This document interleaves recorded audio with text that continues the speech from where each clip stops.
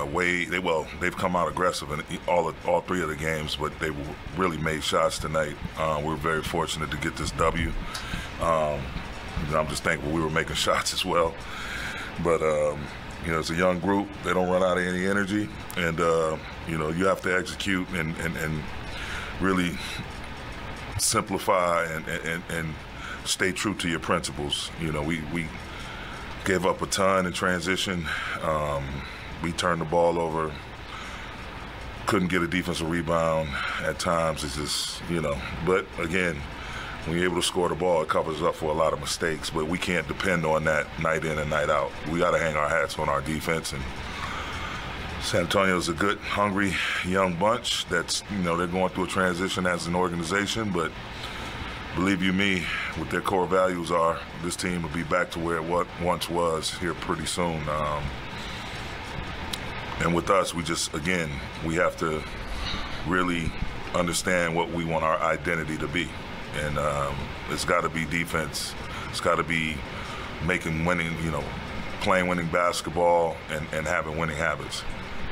Got a couple guys going offensively. Uh, you alluded to Schroeder in the first half, seemed to find a rhythm, and then LeBron uh, gets up to seven threes made and the, the free throw line hitting everything. Uh, what did you see from on that end, and how, how, key could that be to get those guys going? I mean, we just got whenever we play with pace and we move the ball from side to side. Um, and we're attacking, we're in attack mode, and we're not selling, we're playing downhill, I mean, good things are going to happen.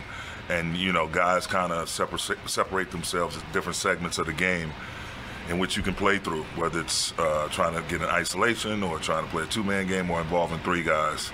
But um, we had different guys step up during different segments of the game. Had some guys make some big threes for us, timely threes. And so um, I thought it was good. You know, guys, uh, a lot of guys contributed.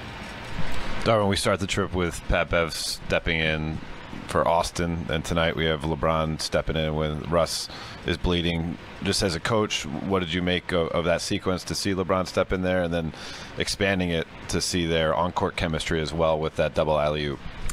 I mean, it, you talking about two first ballot Hall of Fame players, man, that, that, that, know how to play the game of basketball, to uh, understand when it's played the right way. They know how to play it. Um, and highly competitive individuals, both on and off the floor. Um, and I just, you know, at the end of the day, again, those three key words: competitiveness, togetherness, and accountability. And that's that's what togetherness looks like. Being there for your teammate. He takes a shot to the head, and you know, and you know, you don't want to escalate the situation. You want to try to calm him down. You got a guy with blood all over his face who's understandably upset and just having Bron there, and just it, shows a brotherhood that that we, we need that type of that image, that action, that belief in one another. We need that to represent us as a team and as a franchise. Well, speaking about LeBron, what about his play? He did miss a free throw, 39 after having, as I said last night, a thousand turnovers, and he was he was he was, but he was so good on the court as well. What do you think about the way he's played tonight? I just, you know, it doesn't take him long to get back in rhythm. You know, he he had some tough stretches last night, nine turnovers or whatnot. But as I mentioned after the game last night, I'm not worried about him. He's one of the best ever at uh, self-correcting, and I thought he knew where he wanted to get his shots from. He knew what type of actions he wanted to be in. You know, I myself tried to put him in different type of actions from different angles. Um, but nah, he was phenomenal. I'm happy to see he got 10 free throw attempts. Um, he had been all year. He's been driving downhill, and just because you know he plays with a ton of physicality, and it's hard for people to really knock him off his route. It doesn't mean that he's not getting fouled.